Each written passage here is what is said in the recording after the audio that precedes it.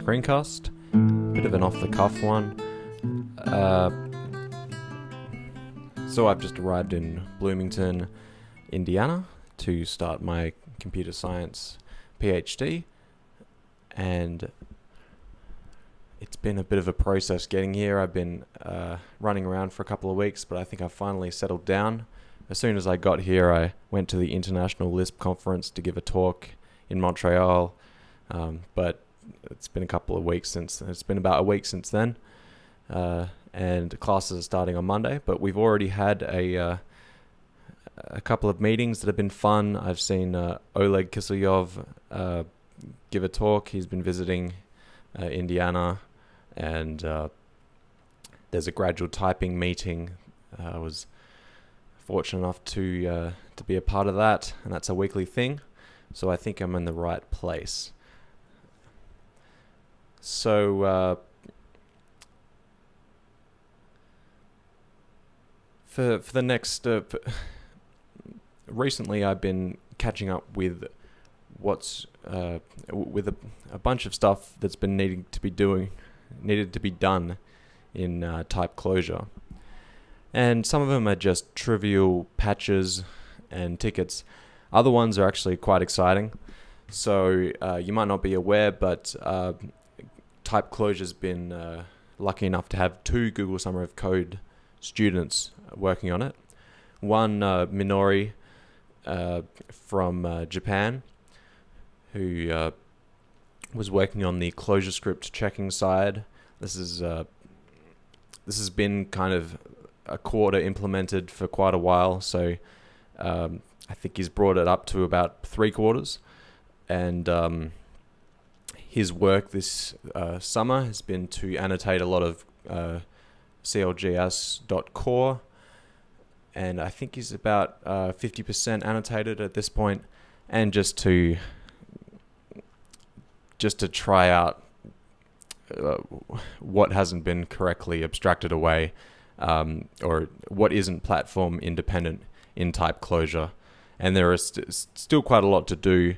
Uh, for example, calling JavaScript is not actually possible right now in uh, in type Clojure, but uh, uh Minori has been working on a few things for that. Uh, so one thing he's been working on is harvesting TypeScript annotations to to use in type Clojure Another thing is harvesting uh, Google Closure um, uh, annotations. And ClojureScript tends to use a lot of Google Closure, so hopefully that's quite useful. Right now, we need to find a good representation for JavaScript objects. So, as far as I know, the things we need for a JavaScript object in type Clojure, we need to represent um, that it's it's mutable. It it can have fields. It can kind of have methods, which are fields at the same time, and uh, or or maybe that's that's wrong. So it might have fields or methods. Uh, it definitely can have inheritance. So in in TypeScript and other languages implemented on JavaScript, they often have this concept of like a virtual interface where it's it doesn't really exist at runtime. It's just a set of methods that you can implement uh, that an object can implement. Uh, and TypeScript uses this, so uh, ClojureScript will probably uh, typed ClojureScript will probably have something similar. So that's for interfaces. Um, there's a type in closures in typed Clojure right now called JS nominal, uh, which is basically uh, achieving that right now. So the second Google Summer of Code student is uh, uh, or some variant of that pronunciation. Uh, he's uh, he he was actually involved in type Clojure earlier in this year, uh, so he was already a contributor. So uh, we kind of fleshed out a, a more uh, challenging project uh, for Di, and I think he did he did really well. He's a student from China, and hopefully we can get both of our Google Summer of Code students from Type Clojure to Clojure conferences uh, soon. And uh, not entirely sure if that's happening, but uh, it would be amazing if if if if they could. And I've I've helped them create abstracts for the Clojure Conj uh, on their respective Google Summer of Code projects. So Di's uh, Di's project was to address this uh, long-standing issue of having fairly complicated uh, variable arity functions in Clojure that are used fairly often. So think Clojure core hash map, think Clojure core assoc. Uh, those are two off the top of my head. But the things in common with those uh, those functions are that uh, aside from assoc that takes a, a, first argument, whenever they take variable arity, uh, variable arguments, it's not simply any number of arguments. Uh, it's uh, an even number of arguments. So for a hash map, if you uh, pass one, two, three, four, uh, that's the key value, key value. So it's very, it's a very natural way of of calling the function. But if you if you give it three parameters, that is um, it's just not correct, and it's something that type Clojure is built to prevent.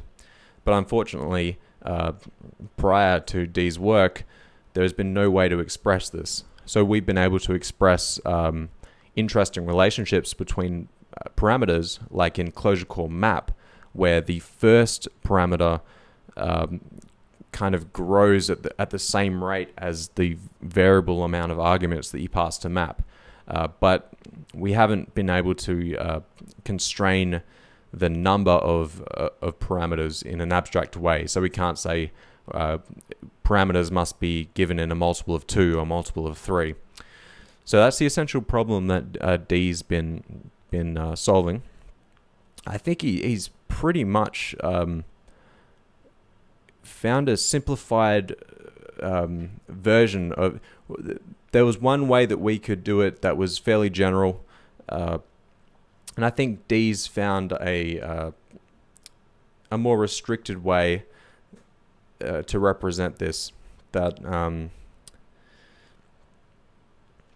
that that kind of works really well. So currently I'm reviewing uh, a lot of the code, well, most of the code that D has has submitted because I basically uh, I've been traveling and and you know saying goodbye to my friends and family uh, in Australia for the last month. So I'm just kind of getting back into it right now as I um you know as as semester is starting. So so my job right now is is to to review um, Di's work. Uh, Minori's work has already been merged, and that is part of core type 0.2.67.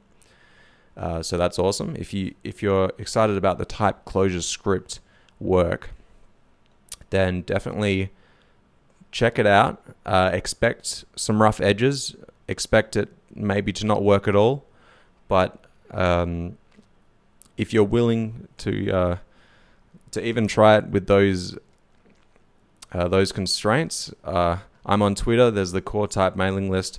Please let us know how you go and I don't think there's much much left uh, to to get it usable. So, as I'm uh, in uh, Indiana Bloomington for a PhD, uh, there's a few things that you need to do. Uh, one of which is to publish papers. Another one is to enroll in classes. Uh, the the easiest so far has been enrolling in classes. I'm taking uh, a couple of units. One I'm really excited about, uh, taught by Dan Friedman, and there's been a bit of history with with uh, with uh, me and and Dan's work, and I've met him at a few conferences. So it's great to uh, to basically I essentially live down the road from him now, and I've uh, yeah spent a lovely afternoon at his place, and and I've taken his uh, I think it's 521, uh, his unit, uh, programming language principles or something, some variation on that. So um, I'm excited about that. And uh, Sam Tobin Hochstadt has employed me as a research assistant, and so far we've just been uh, figuring out um, what Sam needs to know about Clojure. Uh, so far, he's uh, he's got a Clojure sticker from me, so he has a JavaScript sticker, a Racket sticker, and a Clojure sticker on the back of his laptop. So I think that's that's progress. Um, but yeah, that there's there's really only been one formal document on type Clojure since I began work on it, and that was uh, my undergrad dissertation, uh, supervised by uh, Rowan Davies at the University of Western Australia. And since then, um, I've basically been working on type Clojure full time. So it's about a year and a half of uh, of work. A lot of it is is busy work. You know, just adding annotations, fixing bugs. Some other th- some other things have, have come up that are interesting, like uh, Di's work uh, with the the variable arity typing hash map and assoc, and there are things that that could definitely be published and, and fleshed out uh, with the work uh, that type Clojure has achieved uh, when comparing to to other gradually typed languages, especially type Racket, because it's it's quite interesting understanding type Racket and understanding why it has the features that it that it has, and then looking at type Clojure and then saying, well, why do we need these features in type Clojure and why doesn't type Racket have it? And the answer isn't usually well because the type Racket people are uh, falling behind or they're they're lazy, right? The answer is that Clojure is is a different language, right? It, it needs different. Uh, it has a different style. Programmers use it in a different way. So, uh, my mom's talking to me. Hi, mum.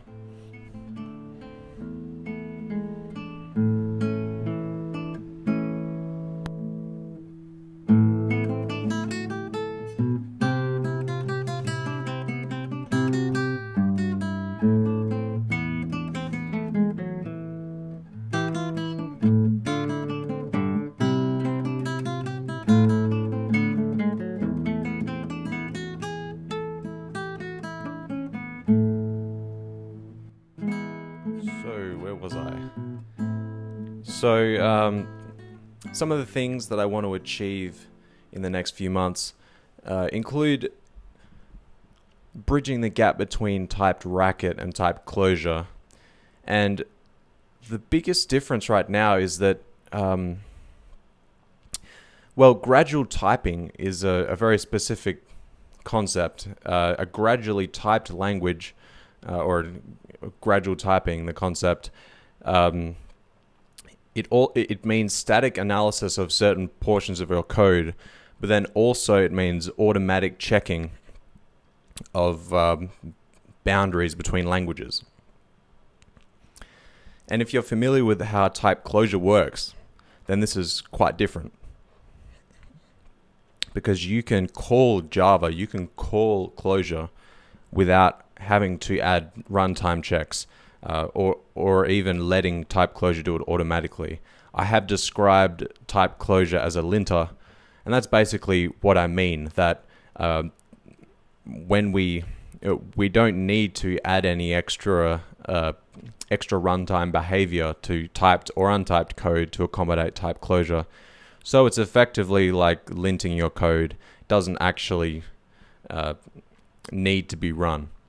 So so one of the big things I want to do is to to add that runtime checking between typed and untyped code uh, to bring type Clojure to being at least potentially a, a gradually typed language. Because from um, from the time I began type Clojure, I've uh, wanted it to be uh, uh the typed portion to be sound to uh, to be able to give certain guarantees. For example uh, one guarantee is if your your code type checks, then you cannot uh, misuse null uh, or nil. So um, you you always know where nil is going to be allowed or disallowed, and type Clojure can tell you. uh, based on the types. So, so it's it's been built to uh, accommodate the runtime checking. So there are a few interesting areas actually to to accommodate it, to actually implementing this. Uh, one interesting fact is that we don't we haven't designed our own virtual machine. So Typed Racket has um, uh, have these contracts called chaperones and impersonators, and um, there's a, a great uh, great paper. I think it was uh, 2012 or 2013 paper uh, by some of the type Racket folks uh, at Indiana and uh, Northeastern University uh, called reasonable in interposition chaperones and impersonators. And basically, the the point of um, chaperones and impersonators is to help implement these higher order contracts. So if you have a mutable array, for example, and you wanted to uh, pass it between typed and untyped code, then um, it's not always clear how to wrap that array so that uh, when you pass it to untyped code from typed code, uh, the invariants that you are relying on in statically typed land are going to be preserved. So chaperones and impersonators solve that problem. They they say if you make a chaperone or impersonator out of this object, then we can guarantee certain properties. So one example I like to refer to uh, that's a pr problematic in type Clojure is Java arrays. And there's really no way, as far as I know, to proxy a Java array, which is essentially what's happening with the chaperones and impersonators.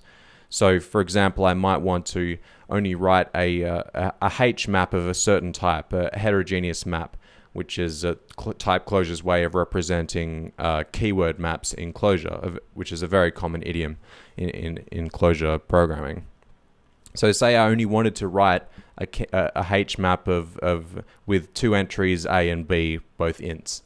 So there is no way to uh, to hack the, the Java runtime or the JVM to allow that. So we're not going to be able to to to fully support the things that I might want to, right? So we can't change J the JVM.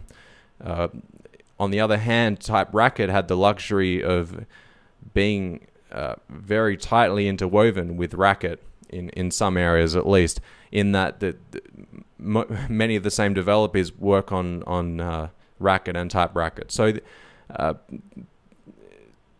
uh, Type Racket drives a lot of the contracts work. Not all of it, but it's definitely the, uh, in at least in my opinion, and I think uh, uh, Robby Findler wrote this in his ICFP keynote notes, in which that um, gradual typing is the uh, the most, I guess, most popular or most uh, most interesting application of contracts. So Type Racket is kind of driving a lot of the a lot of the problem solving in Racket contracts and uh, there's impersonators and, and uh, chaperones are, are one uh, output of that of that work. So the Racket runtime was uh, was actually uh, made aware of chaperones and impersonators at the very bottom. So the C code that implements the Racket virtual machine knows what a chaperone is and knows how to preserve uh, instance checks and object identity uh, which are actually big problems in um, in these kinds of contracts. Uh, Jeremy Siek and a couple of uh I'm I'm sorry I, forgot who published this, but uh, there's a there's a conference DLS is it Dynamic Languages Symposium. I, I'm probably making that up, but there's a gradually typed or an optional type system. No, no, it's actually a um, it's a survey of using contracts in Python, and uh, I'll uh, I guess I'll put a link to it in this video, and uh, Jeremy and uh, and his students are basically looking at uh, I think it's three or four different ways of applying contracts in Python. One big problem is that uh, if you wrap contracts around a particular value, you violate object identity. So, uh, for example, in Clojure, we we use object identity to uh, compare keywords, for example. So the keyword A and keyword A are, are, are, the same object. So you can call identical question mark on them and it'll return true. So for example, if for some reason we wanted to wrap that keyword to add some check for some reason, uh, that that equality check would break. And it turns out this is a big issue in Python. So that uh, Python ha has had to. Uh, so this paper is describing the pros and cons of the different approaches, and I think I'm going to have to take some of the lessons learnt there because uh, these uh, the, the, way I uh, implement contracts are invariably probably going to break object identity. And the only reason it hasn't in type racket is because they've changed the underlying VM to understand chaperones and impersonators. But it might not actually be such a problem in Clojure. I've got to actually uh, do a survey of common Clojure code and, and see what kind of idioms and uh, and and common style are, are broken by uh, by throwing out object identity checks. Uh, so yeah, that's that's one area. So the uh, how to implement chaperones and impersonators, which are essentially uh, how to wrap mutable things uh, to go between typed and untyped code.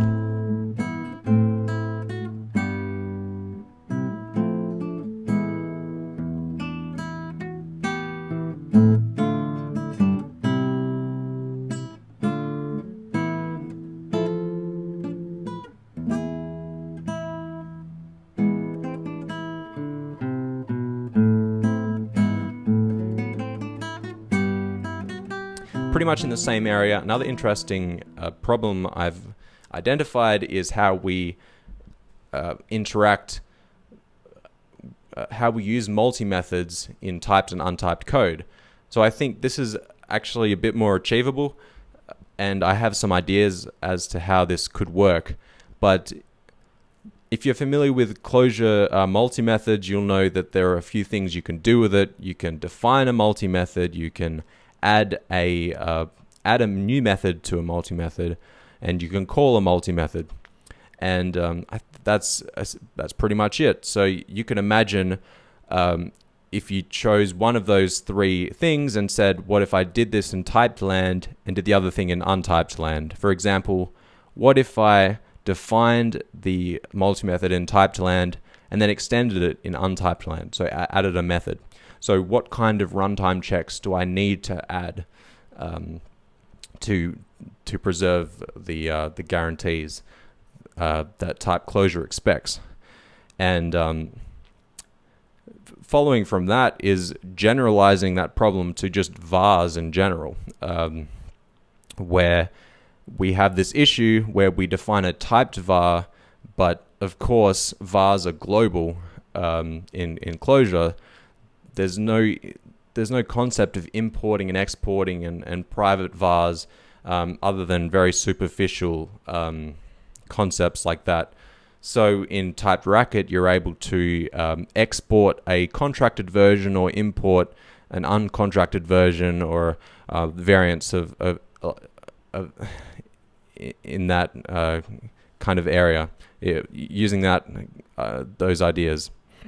But you can't do that with Clojure because we just use um, we just refer refer vars into our namespace quite liberally, and uh, there's no way to kind of say I want to import this var in this name namespace, but only in this namespace when I refer to it, it should be wrapped in this contract. So there's no way to do that. And um, one idea I've had to fixing that or to supporting that is to basically um, well, the, the first issue is I want to transform typed code, and that's something that's not happening right now. Uh, because you can run type Clojure, the type checker, at any point. So it's like a linter, which is uh, what I've uh, like to say uh, up till now. Uh, but the next step is to make it not like a linter in that um, if you want, you can say, okay, type Clojure can um, process my entire source code, transform it, and then evaluate it for you. So for example, if we wanted every var reference in a in a Clojure file to to mean something else, type Clojure could expand it out using tools.analyzer, which is the, the great work by uh, Nicola Mometto or Bronsa on the uh, on the mailing list and IRC, and um, use the AST from uh, Tools Analyzer and uh, walk it and find every var reference and replace it with something. So in this case, I would like to replace this var reference with perhaps another var reference. So one idea I had was for every def in a typed in a typed namespace, I I transform the def to actually uh, define two vars. One var is the typed var, and that is uncontracted. So that's intended to be used inside the typed code. And the other, uh, I won't pull the middle finger to you, but the other, um, uh, the other var that we're going to uh, define is the the quote exported var um, that we like uh, that we'd like untyped code to use. So the trick here is we've got two vars. What do we call them, right? And how do we refer to them uh, without going crazy? So my first idea, well, the, the idea that I have right now, the uncontracted var, which is intended to be used in the typed namespace or in typed land, is uh, is a gensym var, which is uh, you know obfuscated in some way. And then once we uh, go over the AST and transform it, every var reference in the um, in the typed land is replaced with the obfuscated version. So essentially, effectively, it means that typed code is using only the uncontracted versions of typed code, of typed vars rather. So we don't have the liberty of transforming untyped code that we don't control. So um, the the other kind of var that we defined with the def is the contracted version. So that's intended for the untyped land to use. Pardon me. And that would be the same name. So if you said def ABC, uh, you'd have ABC underscore one two three would be the uncontracted version, and ABC would be the contracted version. So untyped co uh, untyped code can use the un can use the contracted version as usual. So you just require the type namespace, refer to it, and then you you have uh, you know the, the the invariants at runtime automatically wrapped. So yeah, the the first thing, the first problem uh, with what I've just described is we don't have a way of transforming code, and the other one is that we don't have a very sophisticated way of wrapping, uh, of, of contracting Clojure code at runtime. So we have kind of first order and and higher order uh, contracts, but um, contracts kind of go ha have been pushed quite far and there are contracts that uh, resemble dependent typing and have sophisticated ways of uh, allocating blame uh, uh to uh, to help the programmer track exactly where where an error was introduced, and um, those chaperones and impersonators I was talking about. Uh, with the contracts before that those that's another area that Clojure uh, libraries could really uh, could could steal. So there's lots of good ideas to steal in uh, in uh, in the area of contracts, and uh, much like Type Racket, I suspect Type Clojure might be a driving force for for some of this work. At least that's where I'm gonna um, be be coming from. So. Um, those are the things that, that I've been working on so far. Um, next week, uh, the gradually typed, weekly gradually typed meeting is on again, and I'm giving a. Uh, I was nominated kindly by Sam to give a talk on uh, a, a, cool paper that I that I found uh, called uh, typed Lua. It's a, an optional type system for Lua, type Lua, and um, I, I, picked it up and I read the title and it, it read almost exactly like my uh, my undergraduate dissertation. So naturally, I just kind of read it straight through and thoroughly enjoyed it. And I found I I agreed with uh, almost everything in the uh, in the paper. Um, I still need to read it a couple more times to to, to get the gist of it. Um, but yeah, um, I'll probably give a practice run of that uh, uh, as a video. That there are, I could I could probably go on for another uh, 15 minutes or 20 uh, just on the, the little that I've read. Uh, but I did get in contact with Andre, the uh, the, guy. Uh, he's just finishing his PhD on Type Lua now, and I was uh, very happy to hear that my Google Summer of Code project for Type Clojure had some influence on him uh, getting started with Type Lua. And uh, so yeah, it's it's great that that uh, Type Clojure is, you know, uh, having its own influence on on languages. that's that's very gratifying.